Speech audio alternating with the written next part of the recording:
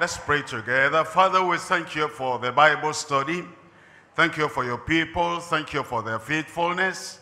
Thank you for bringing us together. We pray, Lord, we'll not study in vain in Jesus' name. We pray for all our brothers and sisters and all the invitees in all the places we're sharing the Bible study together. We're asking, oh Lord, you will touch every life and turn us around in Jesus' name. Lead us to definite decision that will make our Christian life better. And those who have not known the Lord, today will be their day of decision to know the Lord in Jesus' name. And for us who are ministers and workers, we pray you open our eyes to see the importance of the ministry you have given unto us and to do it faithfully and to do it profitably that many souls will be won into your kingdom in Jesus name bless everyone tonight in Jesus mighty name we pray God bless everyone you can sit down We've been studying from the Gospel according to St. Mark. And today we're coming to Mark chapter 8. Mark chapter 8. We're reading from verse 34 all through to verse 38. That's the passage of study tonight. Mark chapter 8, reading from verse 34. And when he had called the people unto him, talking about Jesus, he called the people unto him with his disciples also. He said unto them, Whosoever will come after me, let him deny himself, take up his cross, and follow me. For whosoever will save his life shall lose it. But whosoever shall lose his life for my sake and the gospel's sake, the same shall save it. For what shall it profit a man if he shall gain the whole world and lose his own soul? Or what shall a man give in exchange for his soul? Whosoever therefore shall be ashamed of me and of my words in this adulterous and sinful generation, of him also shall the Son of Man be ashamed when he cometh in the glory of the Father with the holy angels. As you have heard those verses that we have read, you have seen what the Lord is talking about. He's talking to you. He's talking to me. He's talking to everyone. He's talking to the saint and talking to the sinner. Look at verse 36. For what shall it profit a man if he shall gain the whole world and lose his own soul? The Lord is talking about our most precious possession. And tonight, the title of the message is The Great Value of Our Most Precious Possession. Our most precious possession. What's the value? That's what he's talking about tonight. And in that central verse, in verse 36, it says, What shall it profit a man? What shall it profit a woman? What shall it profit a man, a woman in this world, if it were possible for him to gain the whole world and then to lose his own soul? Then he continues in verse 37, and he says, And what shall a man give in exchange for his soul? What he's telling us tonight, he wants us to think about. He wants us to turn it over in our mind and apply it personally to everyone of our lives. You are here at the Bible study. Don't allow the Bible study to just be one of those things. I always come. I'm always there. I'm always reading the Bible. Let the word tonight sink into your heart and think about what Jesus is saying. And he's asking you a question. And you need to think about the question the Lord is asking you. The question is, as we put everything, paraphrase the question, what is your most precious possession? Think about your life and think about your surroundings. What is your most precious possession? What are the possessions that you have? Temporal, some are eternal. The possession of earthly gain, is that the most important thing to you? The possession of material wealth, is that the most important thing to you? The possession of personal profit, personal progress, personal prosperity, or worldly position political position or material position, whatever it is, academic position or the greatest prosperity anyone can think about or your personal desirable sin that you hold on very tightly to. Is that your most precious possession? All those things are temporary and they are temporal and it will pass away with time. The possession of the whole world if it were possible will not compensate for the loss of your soul and for the loss of any man's soul. That's why jesus christ asked the question and said for what shall it profit a man? I should make it personal. What will it profit you? If you were to gain the whole world and lose your soul the soul of man is his greatest possession. All the things we gain on earth, we're going to leave behind. The money, the wealth, the prosperity, the interactions, the connections, anything on earth that we have, we're going to leave everything behind. And when that final day comes for you to leave this world, the thing you are going to take away with you that will never pass away, that will never die, is your soul. And so you want to think about that and make sure that your soul is well prepared. And you want to make that soul ready and very valuable. How is your soul going to be valuable? It must be quickened, must be saved. It must be restored if you've gone astray. If you are not in the right way, the narrow way that leads to heaven, it must be restored and renewed. It must be purged. Purged from all sin. Purged from all evil. Purged from all iniquity. Anything that will hinder that soul spending eternity with God in heaven, that soul must be purged and purified. Your soul must be secured, secured in Christ, in fellowship with Christ abiding in Christ and kept secured until the final day. You need preparation then. You need preservation then. And you need to be ready so that when that day comes and your chance comes, you'll get to heaven. I pray you'll get to heaven. Don't throw away your soul, your most precious possession, on the rubbish heap of the world. Don't throw away your most precious possession, your life, your heart, your destiny. Don't toss it to the devil. And don't throw it away on the rubbish heap of the world. Make sure that the question Jesus Christ is asking, you are able to answer that question and you say, I know my greatest profit. I know that my greatest possession, I know that my greatest desire is to have my soul saved for that wonderful day. Look at the verse 36 again. For what shall it profit a man? He was talking to every disciple. What shall it profit a disciple? He was talking to every church goer. What shall it profit a church goer? He was talking to every neighbor and everyone in the community. What shall it profit anyone if that one will gain the whole world and lose his own soul? Or what shall a man, what will you in particular, and what will your friend in particular? What will any member of our church, any member of any church in particular, what can he give in exchange for his soul? As I said tonight, we're speaking on and studying on the great value of our most precious possession. The great value of our most precious possession. As we look at these verses, we're going to divide to three parts. Number one, his incontestable word on our enduring salvation. He's talking about our salvation. He said, if you're following me, you make up your mind, you turn away from the world, and you turn to the Lord Jesus Christ.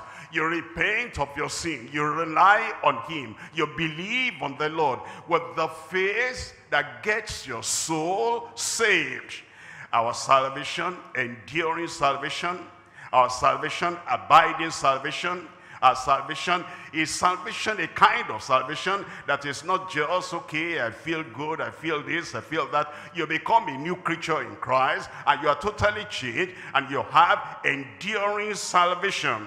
And then he gives us an incontestable word concerning that. That means something indisputable. That means something that nobody can argue against.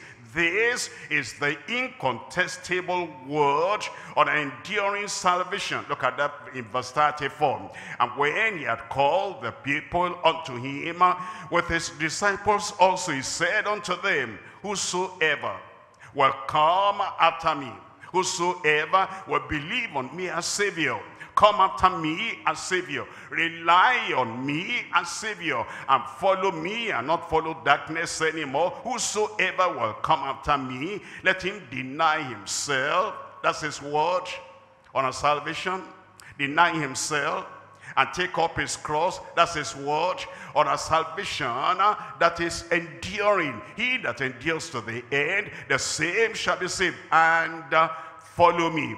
When you get saved, if you get saved and you understand what salvation means, it means you are following the Lord. You are following his steps. You are following his life. And you are following his word until you get to heaven. For whosoever will save his life shall lose it. Whosoever will protect his life my friends must not hear. My family must not hear. My neighbors must not hear. My office people must not hear that I have abandoned the ways of the world and I'm following the Lord all right. Whosoever will save his life and protect his life shall lose it. But whosoever shall lose his life for my sake and the gospel's sake, whosoever will say, I don't care what they think. I don't care what they do. I don't care how they act. I don't care about their ridicule. I don't care about their jesting. I am going to follow the Lord at any cost, at every cost. Such a person, the same shall save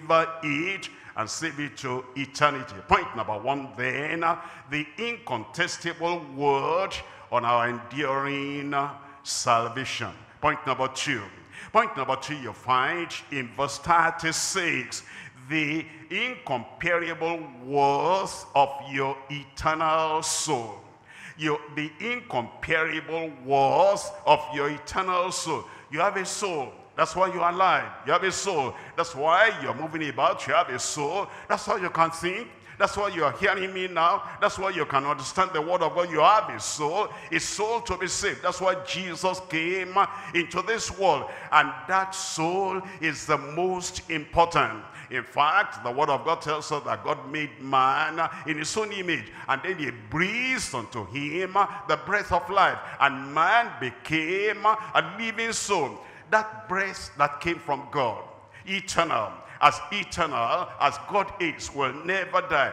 The body will die, and the body will go back to the grave, but the soul will go to God and go and answer for everything he has done. He's talking about that so, and he says, what shall it profit a man if he shall gain the world and lose his own soul? You understand that? There are many people that do not understand when a period of probation. God sent us into this world not just to amass wealth, not just to fill our belly, and not just to have uh, sand and cement, and to have material things. He, he brought us into this world so we can prepare for eternity. And there are many people that have forgotten that. They have forgotten that we are here to prepare for eternity. And so they lose their souls. They forget about their souls. They don't think about their souls and they do not prepare to make sure that their soul gets to heaven. For what shall it profit a man if he shall gain the whole world and lose his own soul? His own soul. Everybody has one. Everybody has a soul. A soul to be saved a soul to get to heaven, a soul to avoid hell, and a soul to be in relationship with the Almighty God forever and ever. His own soul, or what shall a man give in exchange for his soul? Point number two then, the incomparable worth of your eternal soul. Point number three, our incommutable watchfulness against everlasting shame our incommutable, when you say commute, That means to interchange with something. But this one now, a kind of watchfulness that is incommutable. A kind of uh, uh, watchfulness that is unchangeable.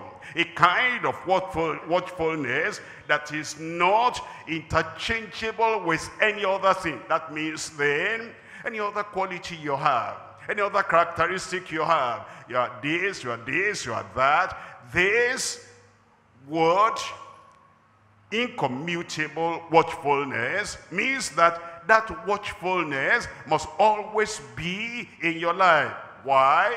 Well, because there's a Satan, there's a devil, there are demons, and there are people that wants to snatch your soul from you and drag that soul to hell. That's why you are watchful, and you cannot interchange that watchfulness with anything. Look at chapter 8, I'm reading from verse 38. In verse 38, whosoever therefore shall be ashamed of me and of my words in this adulterous and sinful generation.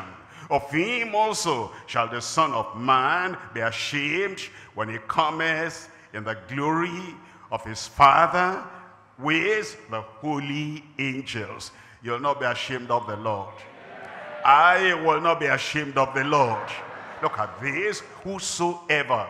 And these are the words of Jesus. And he says, whosoever, he might brag in the church, he might have bold face in the church, but when he gets to the world, he's ashamed of Christ. He cannot stand for the salvation he has. He cannot stand for the conviction he has. And over there, they push him and say, I'm sorry, I'm sorry. Are you not a Christian? Uh, not really. He's ashamed of the Lord in the world. And God says, the Lord Jesus says, whosoever Whosoever, whosoever therefore shall be ashamed of me and of my words in this adulterous and sinful generation, of him also shall the Son of Man be ashamed when he cometh in the glory of his Father and of the holy angels. I will not be ashamed of the Lord.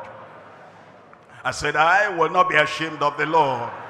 Let's come back to point number one. Point number one, we're talking about the incontestable word on our enduring salvation. Our salvation, an enduring salvation. Our salvation, an abiding salvation. Our salvation, a permanent salvation.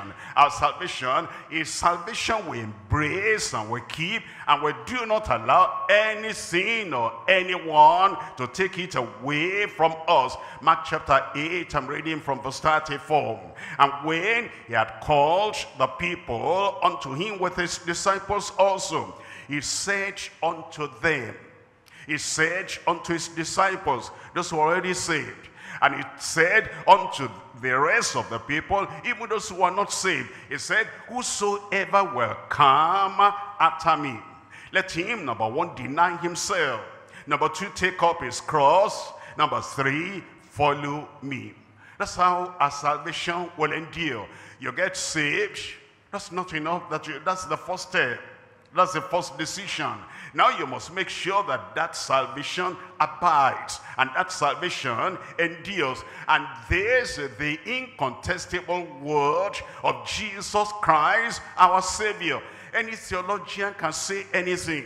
Any preacher can say anything. Any bishop or any shepherd can say anything. But this is the word of Jesus Christ our Lord. And it is incontestable. It is indisputable. He said, if we're going to keep that salvation, if that salvation is going to endure, if that salvation is going to abide, there are three things. Number one, there will be self-denial. Number two, there will be taking up the cross. Number three, will be following Christ. I'm going to put them like this. Number one is command to deny self. Is command to deny self. Number two, I put that like this, the carrying of our cross shamelessly. You see, there are people, if they have any challenge, any cross to bear, any kind of persecution or any need in their lives, and that happens to be the cross at that time, before the Lord removes it, They're ashamed. How can I say I belong to Christ? How can I read the Bible? How can I go to the Bible study? How can I worship on Sunday? How can I say, how can I declare I'm a child of God? Look at the cross, look at the cross. But you know, if your salvation is going to abide, you must carry your cross shamelessly. Number three, the call to follow his steps the call to follow his steps. Look at that. Look at those things one by one. I'm reading from verse 34 again. And when he had called the people unto him with his disciples, he said unto them, Whosoever will come after me, let him deny himself. Let him deny himself. Are there things that come to your life? And what the Lord is expecting when that temptation comes, when that trial comes, when that challenge or difficulty comes, when there's something that wants to stop your journey, what the Lord is expecting is to think of your salvation anything that will take my salvation from me, anything that will take my confidence in the Lord from me, anything that will take away that abiding nature of my salvation, anything, anything, whatever, I will deny myself.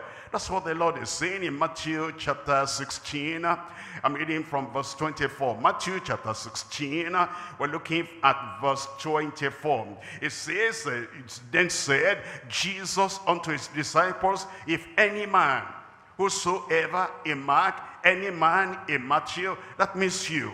If any man will come after me, let him deny himself. See that? Let him deny himself. What does that mean to deny himself?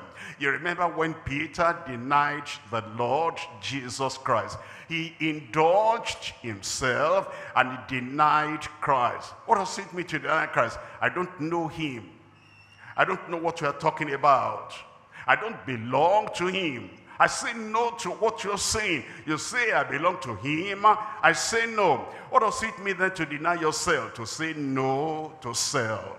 Self wants you to do this, and that thing will get you into sin, you say no. Self wants you to act in a particular way, and that will show the nature of Satan and the nature of evil. You say no. Actually, as you look at everything, number one, it means deny self. Say no to self. Number two, be deaf to self. Self is saying, hey, I want you to do this. I want you to do that. I want you to kind of disorganize your life. I want you to become unrighteous. I want you to become unholy. I want you to have the pleasures of the flesh and satisfy yourself and dishonor the Lord. You are deaf to self. You act as if you are not hearing. It's just like somebody calls you and you don't want to answer. You don't want to go that direction and you are deaf to that person. It also means, number three, to disobey self. Self is giving you a commandment. And that commandment and that instruction is uh, going to make you dishonor Christ and disregard Christ. You say, no, Christ is number one in my life. Self cannot be number one. And if I'm going to obey the Savior, I must disobey self. Do you ever do that? Self wants you to do something. Self wants to, you to act something out, and that thing will not please the Lord.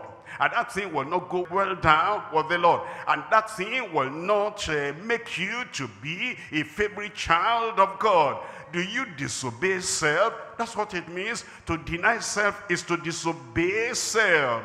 It also means, number four, to discipline self. You know, self would like to be careless. Self would like to run here, run there. Self would like to have self-will, would like to do whatever, anytime, anywhere. And when self wants you to misbehave, and self wants you to do anything that is not according to the will of God, you discipline self. You know, if some people discipline self, like they discipline other people, like they think of stopping other people, that they think like uh, making other people not to do that, and they say, I'm not going to take nonsense from anybody, and therefore I discipline that person. You know, if you turn that around and you discipline self, Self wanting you to go out of the narrow way and go to the broad way. Self wanting you to do something that is not according to the will of God. You say, you know what, self, you're not going to take salvation from me. You're not going to take eternal life from me. I deny you. I am deaf to you. I am dumb to you. I disobey you. I discipline you. It means when it says you deny self, you dominate self. Dominate self. You have authority over that self. You're not going to allow self to dominate you. You have heard the word of God and self wants you to push aside the scripture and push aside the Savior and push aside all the doctrines of the word of God that you know. Every good thing we've learned from the word of God. Now that we're new creatures in Christ, all things pass away, all things become new. And self wants us to disregard all that and pay attention to only self. You say, no, I dominate self. You know what it means to deny self? Diminish self. Diminish self. You know, self likes to be on the ivory tower. Self likes to be on the throne of your heart. And self likes to be the one that is recognizing. Self wants to have the joy of controlling you, of being the steering wheel in your life. You say, I diminish that thing. You say, no. You cut down the power of self. You say, I can't do that, I won't do that. You cut down the power of self. You diminish self. And then uh, you constantly, wholeheartedly die to self. Die to self. It's like self is dead and I don't recognize it. I don't recognize the authority of a dead man. I don't recognize the authority of a dead woman. We might have been close. We might have been together. It might have been that that master, he was my master. He was the one dominating me. Now he's dead. And I don't recognize the, uh, the authority of that dead personality. Self must die. And when self dies, you don't recognize the authority of self anymore. I belong to the Lord, you belong to the Lord and the Lord will make you to overcome self in your life in Jesus' name. Did I get any amen from the church? Mark chapter 8 and I'm reading here from verse 34. Mark chapter 8, reading from verse 34. It says in verse 34, And when he had called the people unto him, with the disciples also, he said unto them, Whosoever will come after me, let him deny himself and take up his cross. Let him deny himself and take up his cross. Everyone has a cross to bear. The pastor has a cross to bear. The minister has a cross to bear. And this is what happens. You know, there are people that think that once I come into, ministry, into the ministry, everybody will be honoring me, uh, regarding me, appreciating me, and saying nice, nice words unto me. They're saying he is the one that brings to us the word of salvation. And so we love him, we respect him, we exalt him you'll be disappointed. There are people that do not have that kind of honor and that kind of exaltation you have the cross to bear. And when you are put down, when they should have respected you, and when you are pushed aside, when they should have recognized you, don't feel hurt. The Lord already told you there is a cross to bear. You're a Christian, you are born again now. Your life is new. All things are passed away. Behold, all things have become new. And then you get to your office, so you get home, and you think everybody is going to really know now I am an angel of a man an angel of a woman. Because, you know, in the past I used to, you know, tell them lies. I used to fight with them. I used to get angry. I used to do this and that. And, uh, you know, at that time, they knew I was a tough man, a tough woman.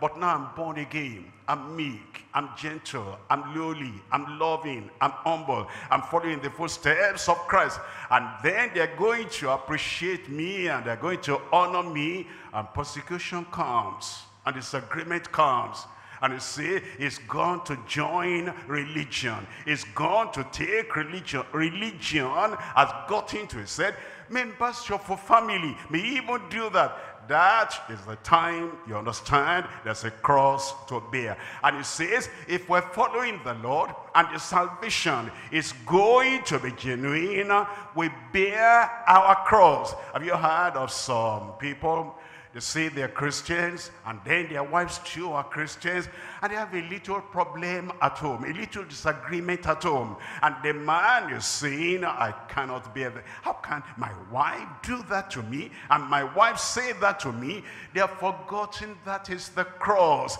And now they say, I'm going to separate. I'm not going to live with this woman anymore. They are not carrying their cross. But you know, if we're going to get saved, and if we're going to keep saved, we must bear our cross. That that same wife, you're nice to her, you're good to her, because you're a child of God. But somebody says, I'm a Christian, I'm born again, and is already contemplating divorce. I'm going to leave the woman. I'm going to go to the court. We're going to divide everything. You take this part of the house, I take that part of the house, and then you take these children. Eh, if we have girls, you can take the girls. I'm going to take the boys. What is the bearing of the cross? You see, that's what the Lord is telling us. He's telling us that if we're really saved and born again, number one, you deny self. Self would like to assert itself. And self would like to say, I will control you. Self will not control me. Self will not control you. And then there is a cross to bear. You will bear your cross. By prayer, you'll bear the cross. With faith, you'll bear the cross. With grace, you'll bear the cross. Listen to me. There is nothing those three elements combined together cannot endure. Grace, faith, prayer can endure anything, can carry any load. Because God said, my grace is sufficient for you. And so you'll bear your cross in the Holy Ghost, in the power of the Holy Ghost. And people don't understand, why do I have the Holy Ghost? How do I say I'm born again, I'm sanctified, and I have the power of the Holy Ghost? It's so that you can bear any cross and carry any load. Because now your faith is multiplied, the grace is multiplied, and your prayer is dynamic in the Holy Ghost. Not only that, you have boldness and courage. Boldness and courage. If you say you're a Christian, a, the Christian is different from the people of the world that's afraid of everything. Afraid of the wind blowing, afraid of a cockroach that is, you know, passing by, afraid of the cat at the window, afraid of this, afraid of that. No, when you come to Christ, some of the things that pass away, the timidity, and the fear and the trembling and you know the regret all that is gone from your life in Jesus name. Now there is boldness. I say there is boldness and there is courage. If you have courage you say I cannot carry my load you say. How heavy that load is. Some people that went before me they carried their load and they carried all their luggages. And so me now, with the boldness and the courage, I will carry my load. I said I will carry my load. There are people who are parasites. They lean on other people every time. Hey, other people have loads to carry too. Other people have their crosses to carry too. And you're always calling so-and-so, calling so-and-so. Brother, I have a cross. Brother, I have a load. Brother, I have a mountain. They have their crosses too. And they have their mountains too. But now from tonight, courage will come into you. Power will come into you. That cross, you will bear it. And you will carry it without compromise. You see what makes people to compromise is that, well, this cross is heavy. And the people that make that cross heavy and heavier, every heavier every day, they have assured me that if I don't change, they're going to make the cross heavier. And so, okay, what can I do now? I need to cut corners. I need to compromise. I need to chip out a little, chicken out a little, so that they will know that, okay, I'm obeying you now. I'm no more obeying Jesus. I'm no more obeying my Savior. I'm not thinking of heaven anymore now. You are the center of my life now, and I'm thinking about you. Can you help me a little and lessen my cross? That's compromise. I will not compromise. I said I will not compromise.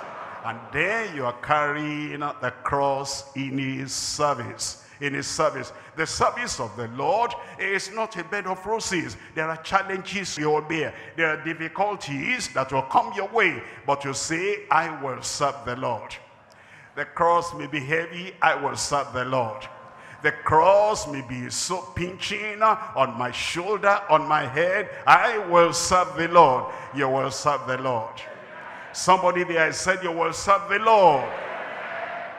How can we bear the cross? How can we take up the cross and never allow any sin uh, to make us disregard our salvation? Bearing the cross all the time. Hebrews chapter 12, I'm reading from verse 2. Hebrews chapter 12, look at verse 2. Looking unto Jesus, the author and the finisher of our faith.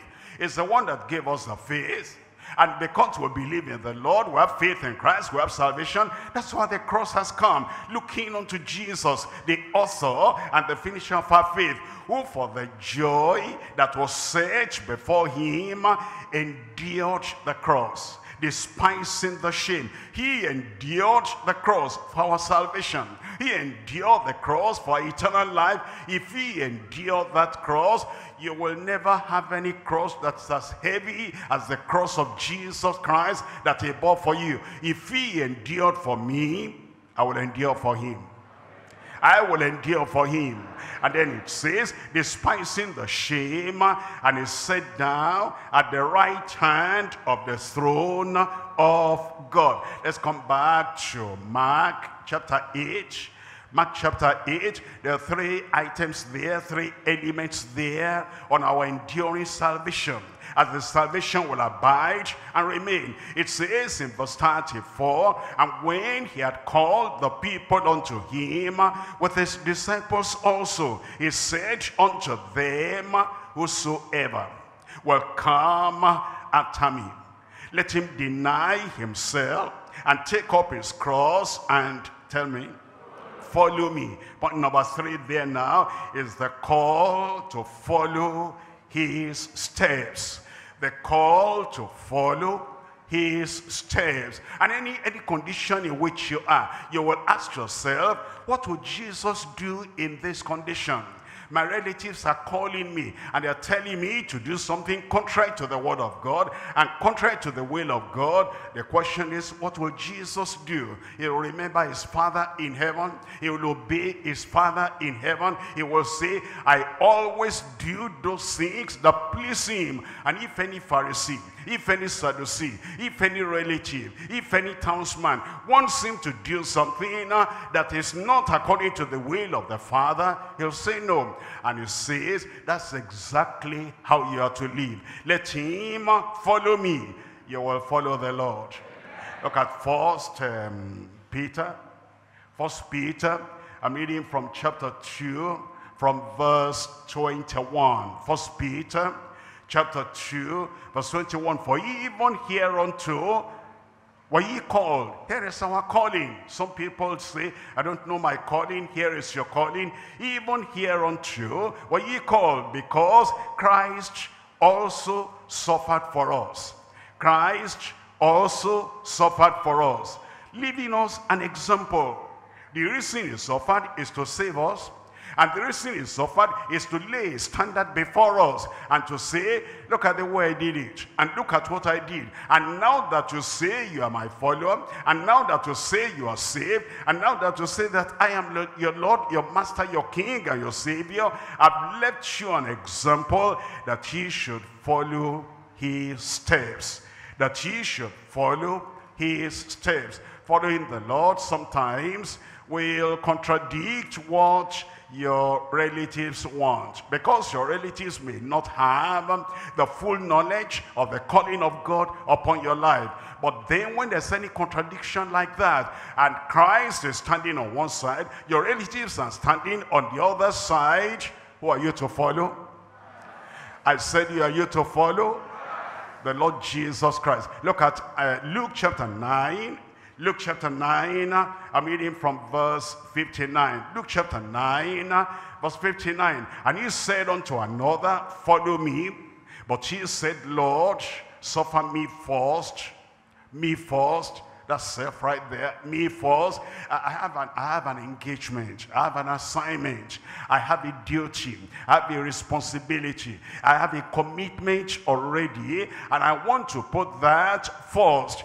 Wants to put whatever belongs to you, humanly speaking, first, and you bring Christ second, you are telling him it's not as important as those things you are putting first. But if you are going to follow the Lord, when you said, follow me, you will not say, Lord, suffer me, permit me, allow me to go and bury my father. That's the first thing on my plate now. That's the first thing in my agenda now. Look at verse 60. Jesus said unto him, tell me somebody there. Let the dead bury their dead Hold on. That's something uh, the people of the world will fight with you uh, for. They say, were you in town? Did you hear that Mr. So-and-so died? Yes, I heard. Did you hear that Madam So-and-so died? Yes, I heard. What were you doing? We had a church program at that time. You should have asked me before you fix that time. And because I had that engagement belonging to Christ, Christ is number one. What do you mean? You don't have a family? You don't think of your family? And Church is number one. Bible is number one. Doctrine is number one. Following after the Lord is number one. You say, yes, that's my commitment. They're going to fight for that. And then you say, let me give you a verse of scripture that makes me to act the way I'm acting. They say, we don't want Bible. What we're talking about is you must be reasonable. There is no religion that will make you to put uh, any other thing first and not put your family and not put so and so forth that's what Jesus said. He said, let the dead bury their dead, but go thou and preach the kingdom of God. That's who we are. That's what we do. That's what we will keep on doing. We're following the Lord. Whatever the cost, we'll keep on following the Lord.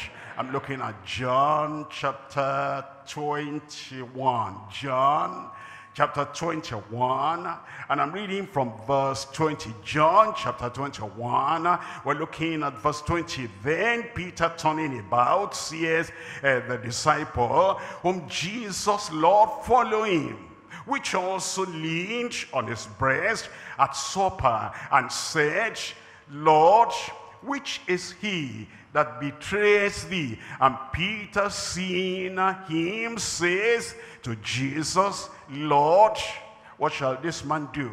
You see, there are many people, before they actually follow the Lord, and before they make all their commitments, that they will follow the Lord without fear, without favor, without compromise, and without any kind of turning around they're asking, but you know, uh, Pastor so-and-so came to the Lord before me. I remember uh, Sister so-and-so followed up on me when I became a Christian. And if the Lord is challenging me, I hear the Bible study. I hear the word of God.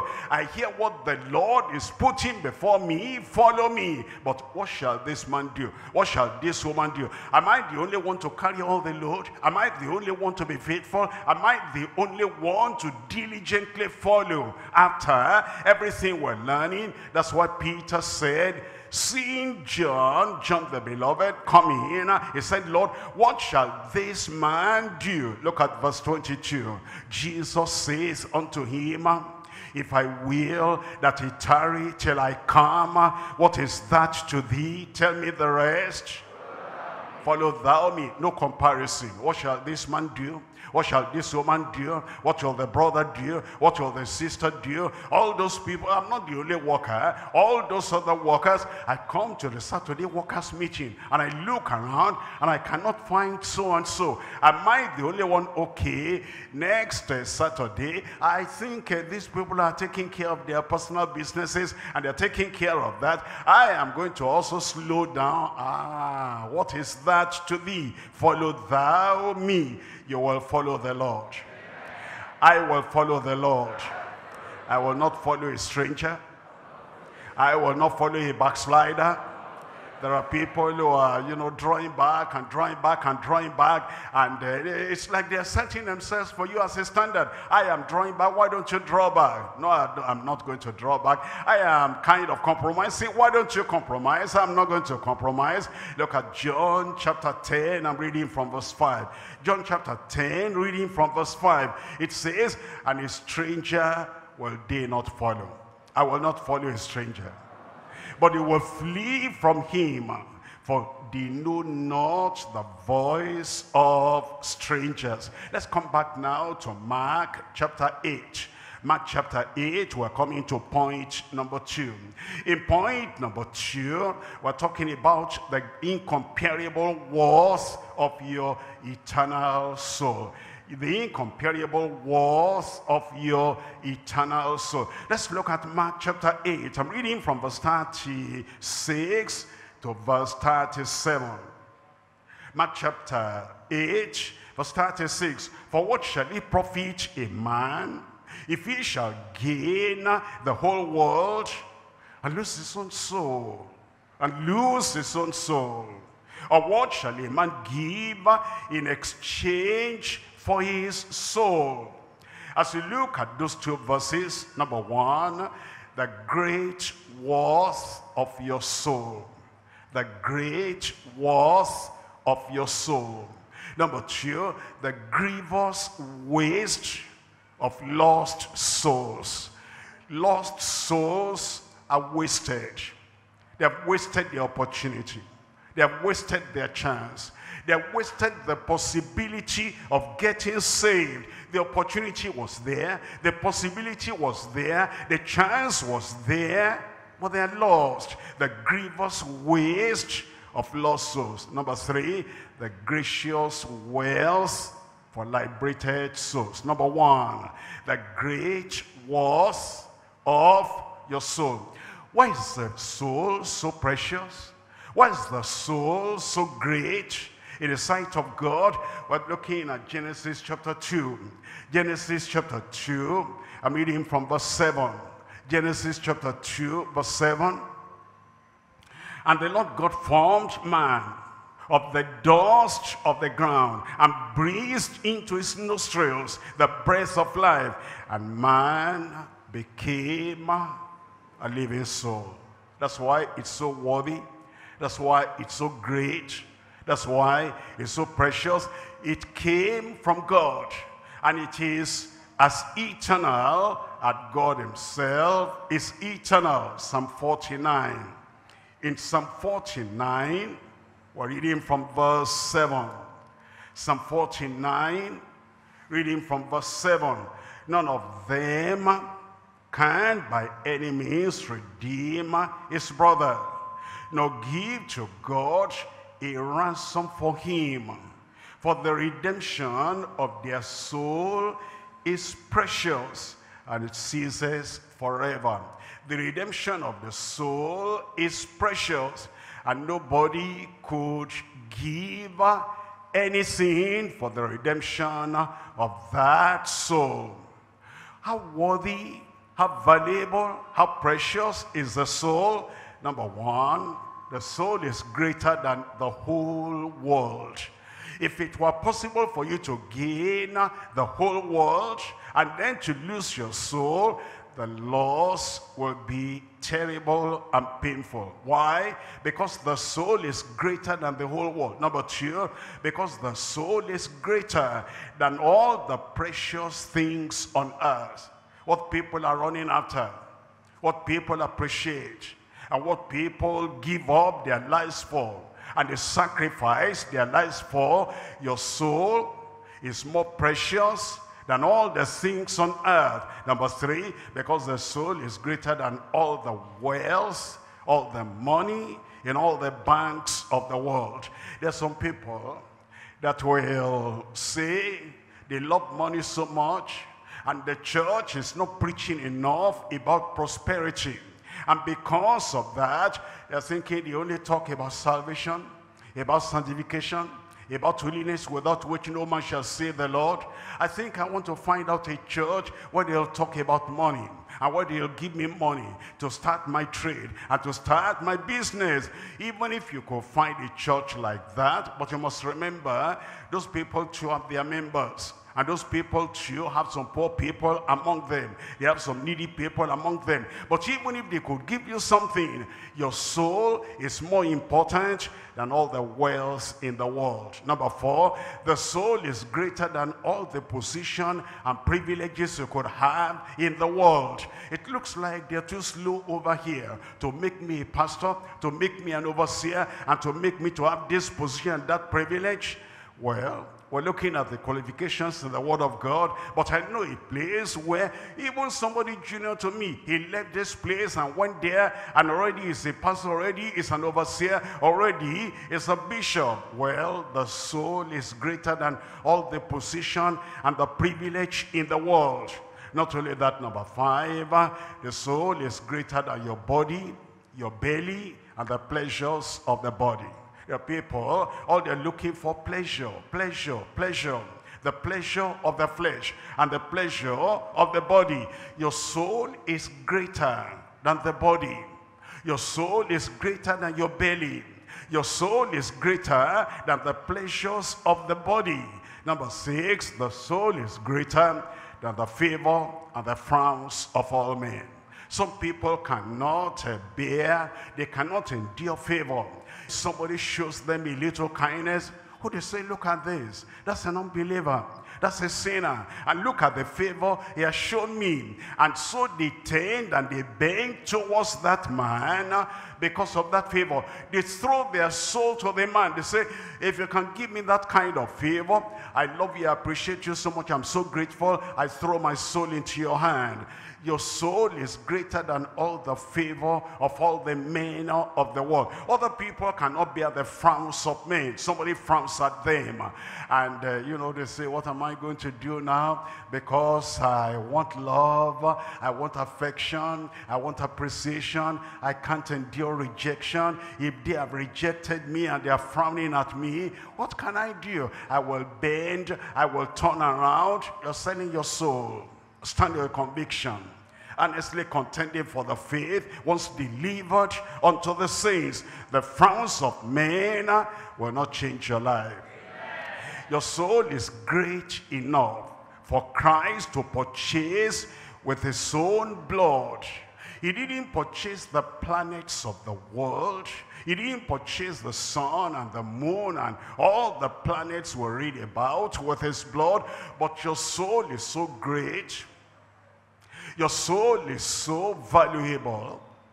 Your soul is so precious that he gave his own blood. That's the reason why we'll not allow anything to be an exchange for our soul. You'll keep that soul. You appreciate that soul.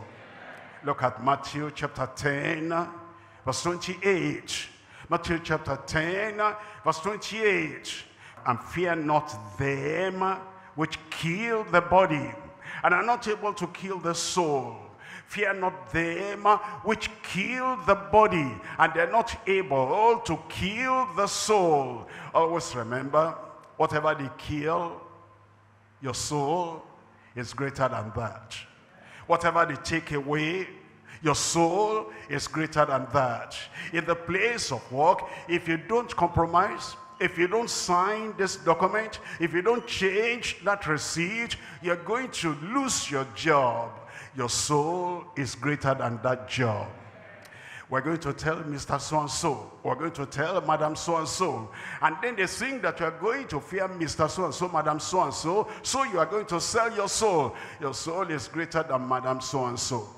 Your soul is greater than Mr. So-and-so. And Jesus said, fear not them which kill the body and are not able to kill the soul, but rather fear him which is able to destroy both soul and body in hell. You fear the Lord. Number two, the grievous waste of the lost soul. The grievous waste of a lost soul. Look at uh, Mark chapter 8 again, verse 36. For what shall it profit a man? What shall it profit you? If you were to gain the whole world and lose your own soul, or what shall a man give in exchange for his soul?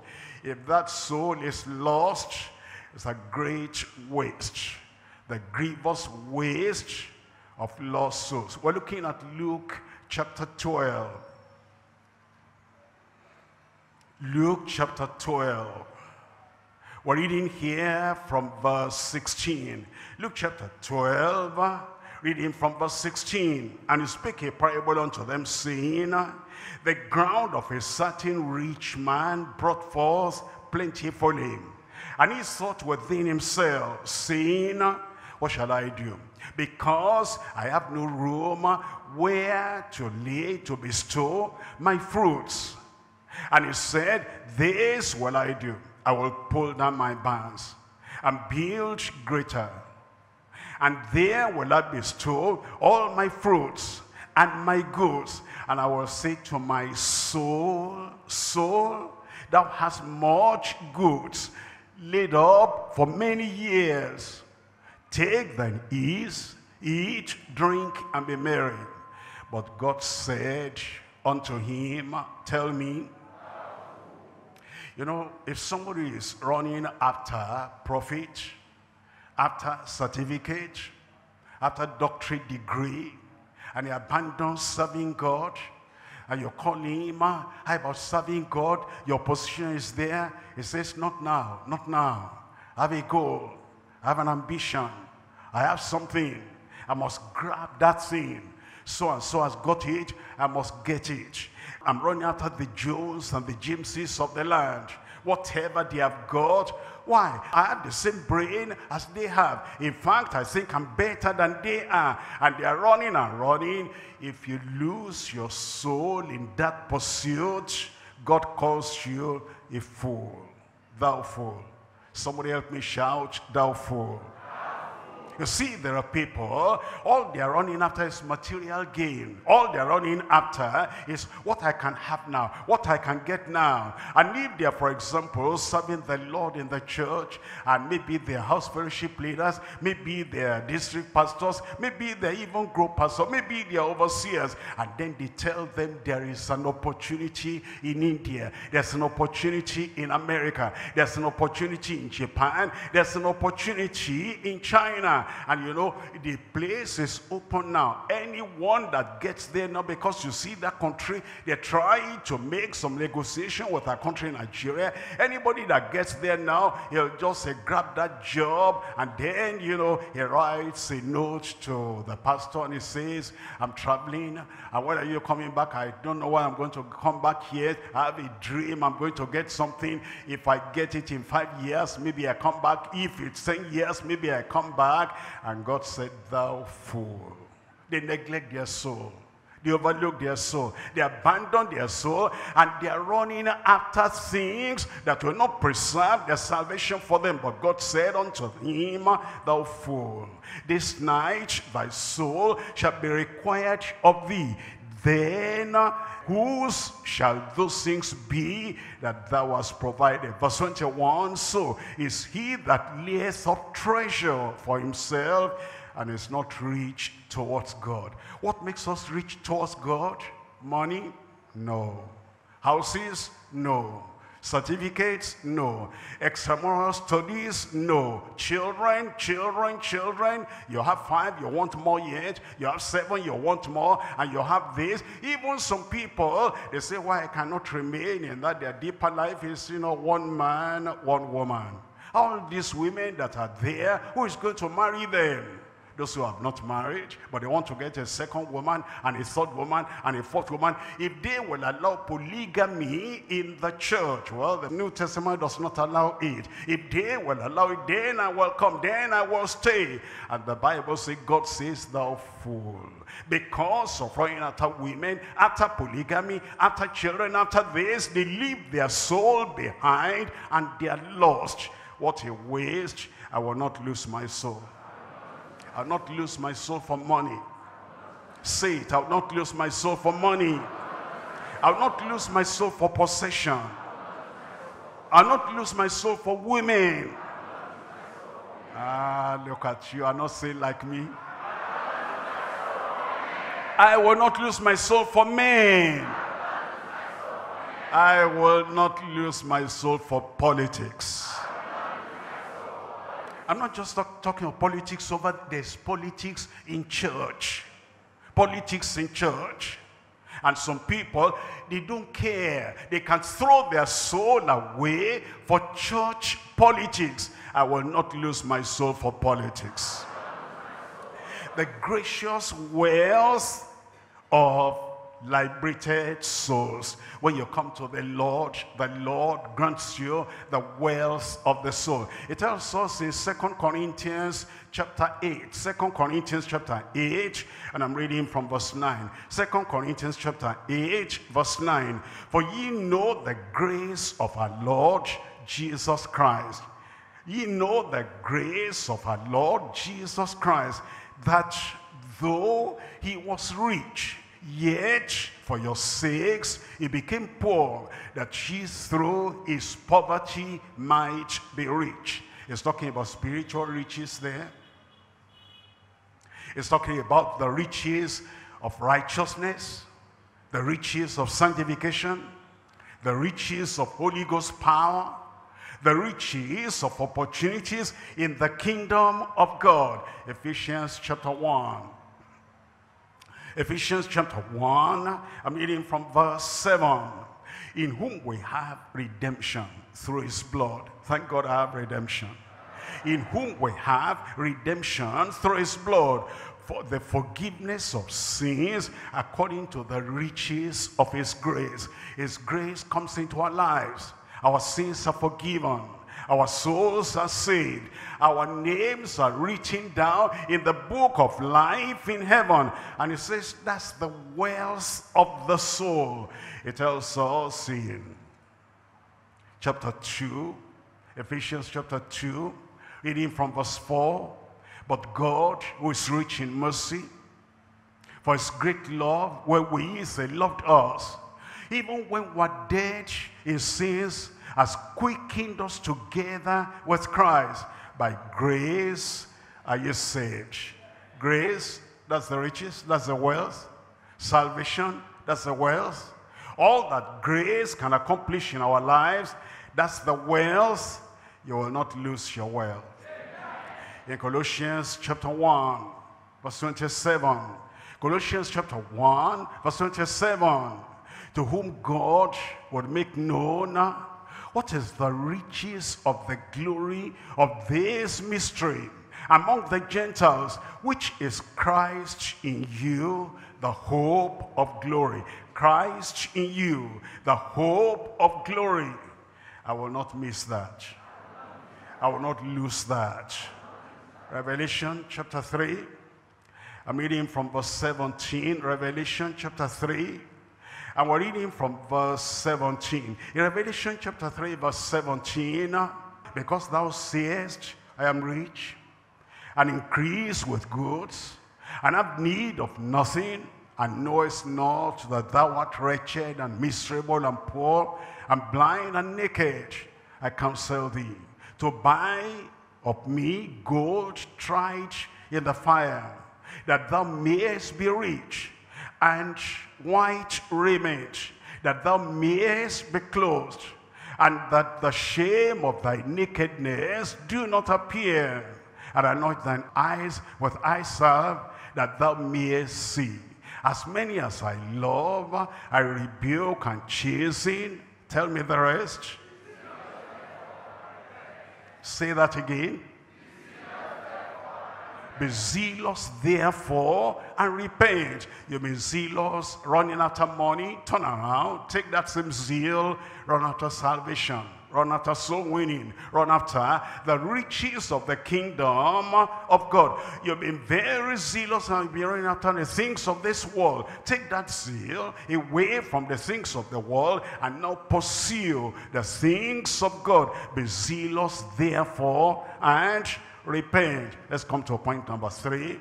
Our incommutable watchfulness against everlasting shame. Mark chapter 8. We're reading from verse 38. Mark chapter 8, verse 38. Whosoever therefore shall be ashamed of me. Can you think of somebody ashamed of Christ? Was nailed to the cross for him, stripped of his clothes, on the cross for him, wore a crown of thorns so painful for him, just to purchase salvation for you.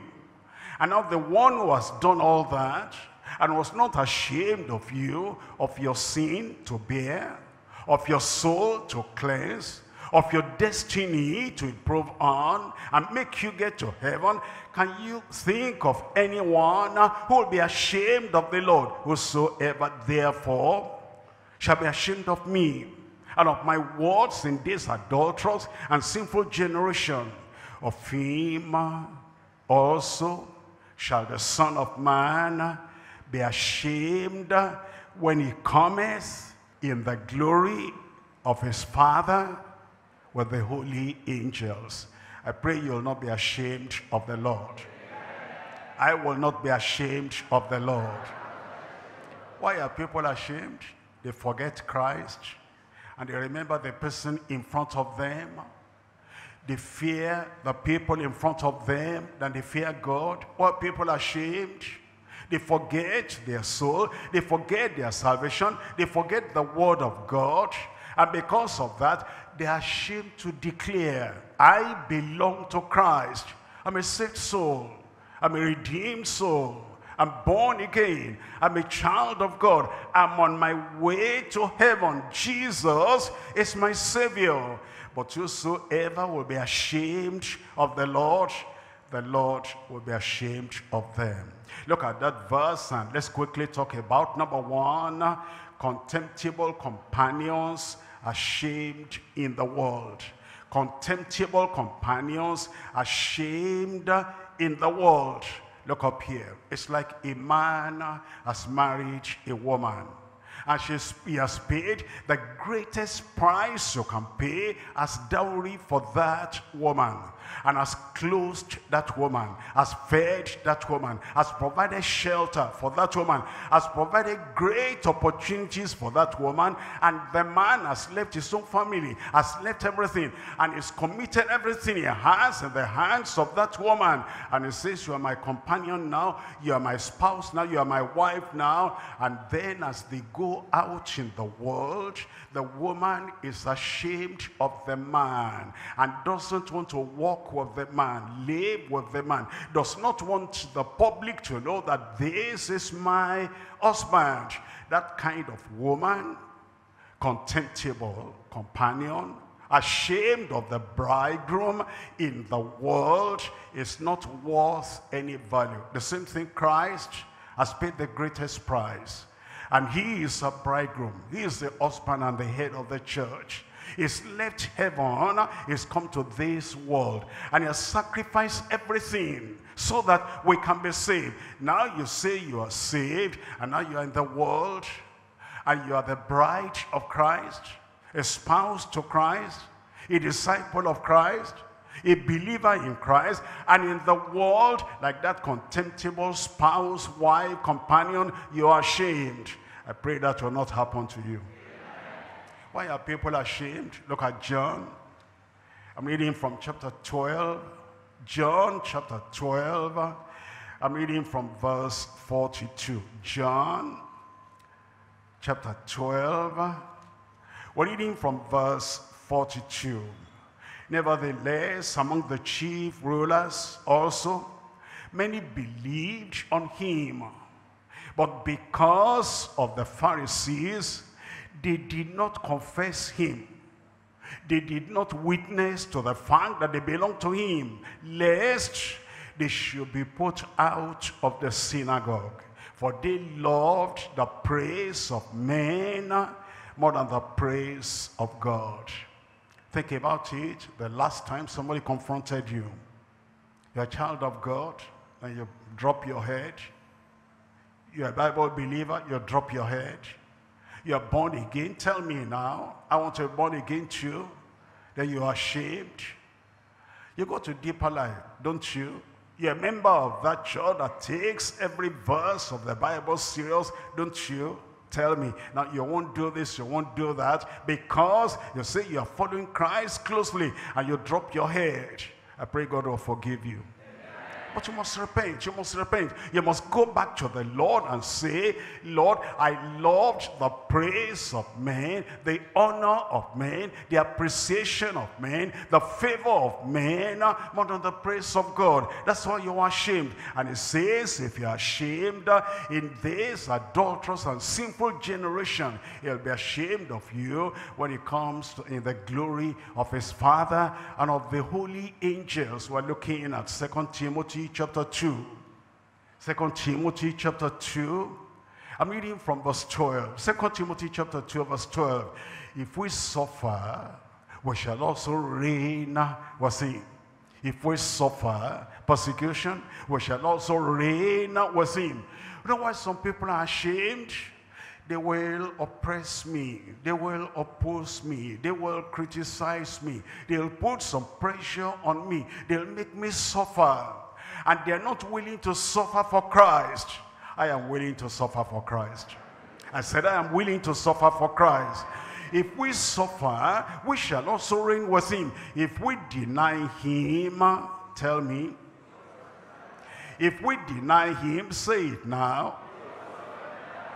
Those who are denying the Lord and those who don't want to have the courage to stand for the Lord, those are the people that cannot say it. If we deny him, he will also deny us. You will not deny the Lord. In your place of work, you will not deny the Lord. In your extended family, you will not deny the Lord. Amidst the people that say they go to church, church goers, they too, I'm, I'm born again too, I'm a gospeler too, I'm this and that too, but they're still into the world. You'll not be ashamed of the Lord in Jesus' name. You will stand uncompromisingly you will stand in Jesus' name. Number one, contemptible companions ashamed in the world. Number two, corrupted compromisers ashamed of his word. Corrupted compromisers ashamed of his word. The word of Jesus Christ is higher and greater than any other word you can hear. The word of philosopher, the word of a scientist, the word of a politician, the word of, uh, you know, your, the head of your human family, and the word of anyone. The words of Christ is greater, is higher, is more precious. The words of men cannot take us to heaven. It's only the word of Christ, and you will not be ashamed of the word of Christ. Look at Luke chapter 9. Luke chapter 9 I'm reading from verse 26. Luke chapter 9, uh, verse 26. For whosoever shall be ashamed of me and of my words, ashamed of me and of my words, one man, one woman, words of Christ, ashamed of me and of my words, be not unequally yoked together with unbelievers. Whosoever shall be ashamed of me and of my words, and the village people, they bring a lady. And they say, you are getting late. You must marry this one. Don't quote any Bible to us. Don't say, my church say, my church says, this one, you will marry this one. Yes or no? And then they, they make you to sign. I will not sign Satan's paper. I said I will not sign Satan's paper. I will not sign Satan's document. You will not sign in Jesus' name. You say, the word of the Lord commands me, I must not marry an unbeliever. And then if your wife, if you have difficulty with your wife, and your wife is not there now, and your parents come and they say, leave that woman alone. Here is another one. And then if your church will not agree, come out of that church and come and marry this one. Will you do that? I'm asking church, will you do that? You will not. Because the words of Jesus said, God created them male and female. For this cause shall a man leave his father and his mother and be joined unto his wife, only one wife, and they two shall become one. And what God has joined together, tell me, let no relative put asunder. He says, Whosoever shall be ashamed of me and of my words, of him shall the Son of Man be ashamed when he shall come in his own glory and in, in his Father's and with the holy angels. You'll not be ashamed of the words of the Lord in Jesus' name.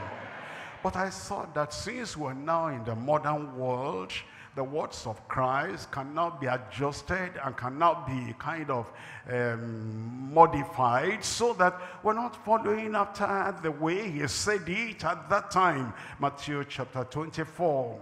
I'm reading from verse 35. Matthew chapter 24, verse 35. Are you there? Matthew chapter, tell me.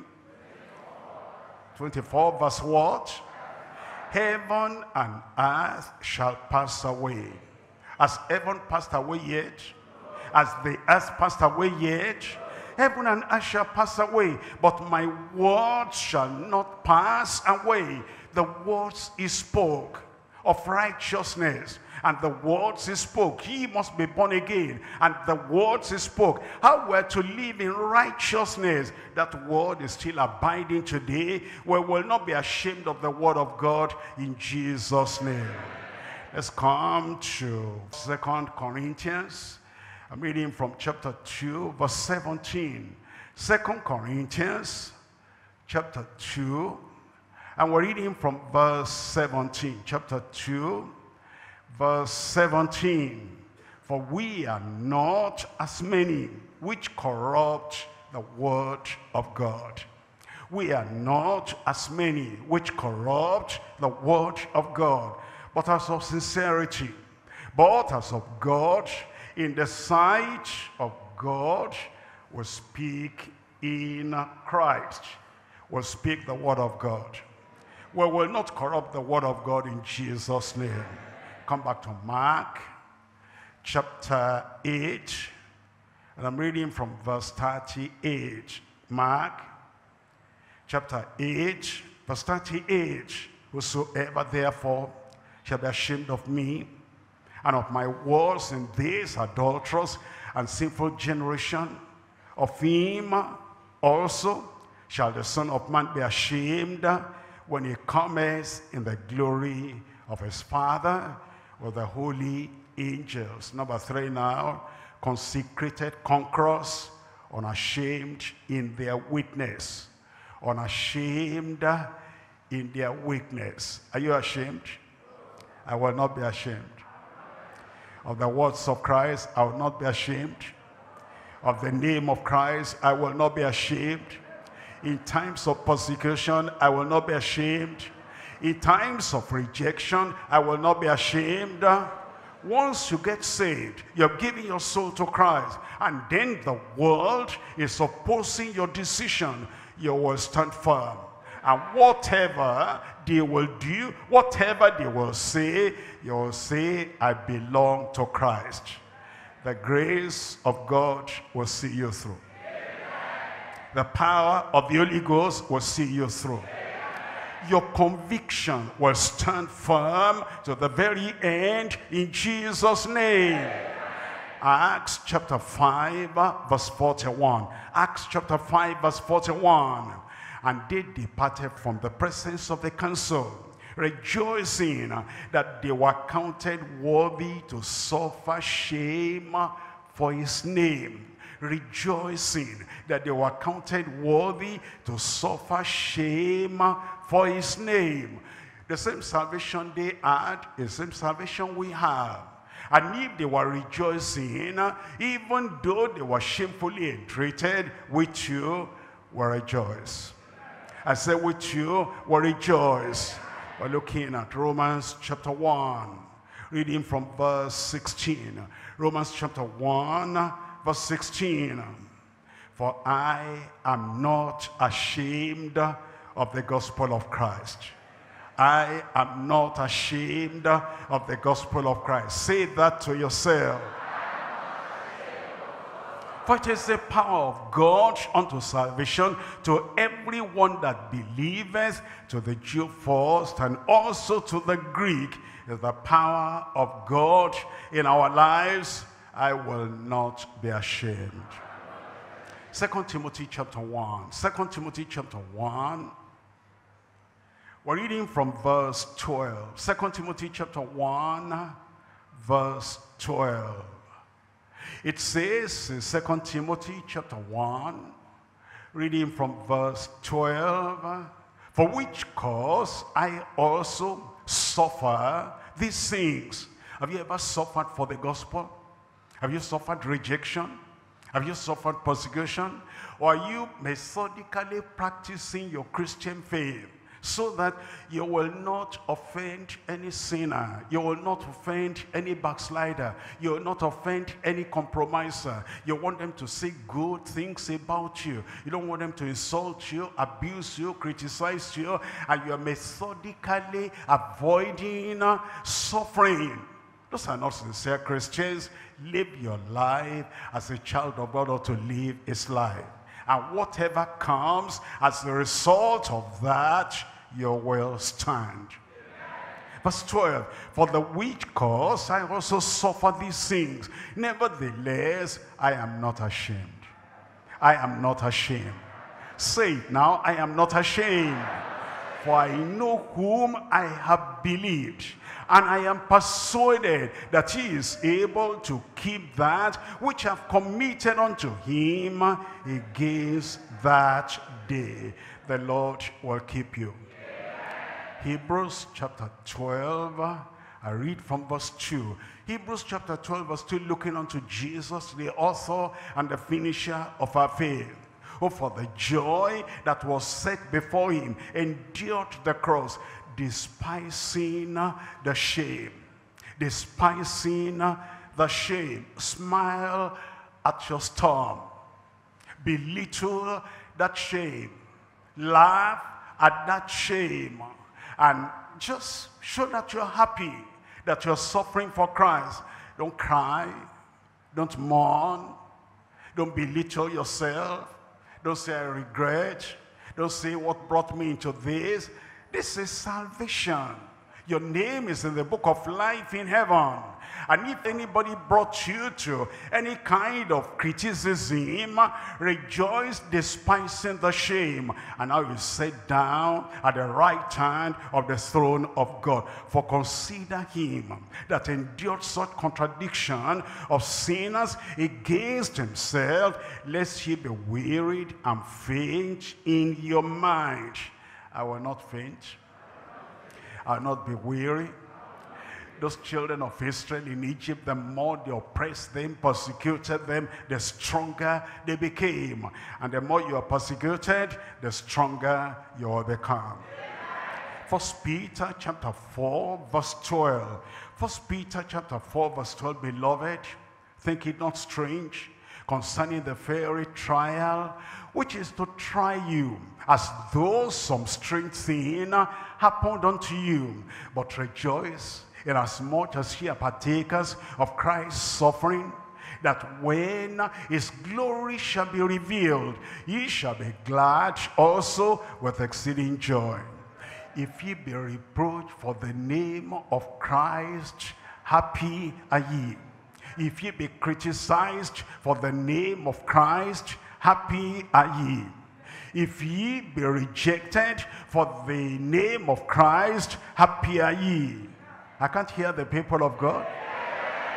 For the spirit of glory and of God resteth upon you.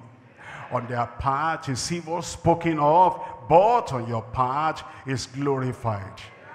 But let none of you suffer as a murderer, or as a thief, or as an evildoer, or as a busybody in other men's matters. Look at verse 16.